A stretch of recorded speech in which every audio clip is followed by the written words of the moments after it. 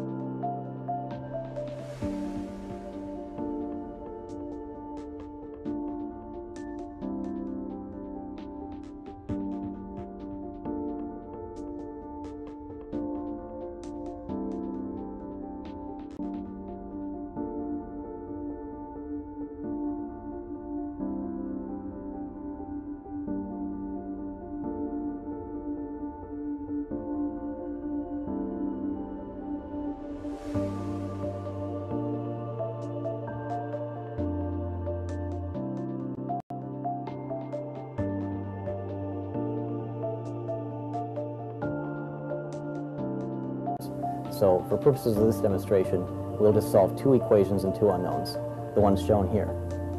2x plus 4y equals 8, x minus 3y equals minus 11. The first step is to enter the data into the ABC.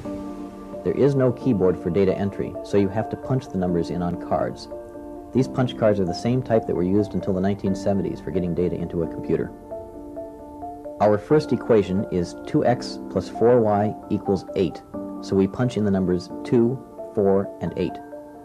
You may have also noticed that we're using only whole numbers. The ABC did not use floating decimal points, so you scale up the numbers until everything is to the left of the decimal point. That took about a minute. While we're at it, we'll make the card for the second equation as well. For x minus 3y equals negative 11, we enter 1, minus 3, and minus 11. Notice that to make a number negative, we type a 0 for the first digit. If it's blank, it's assumed positive.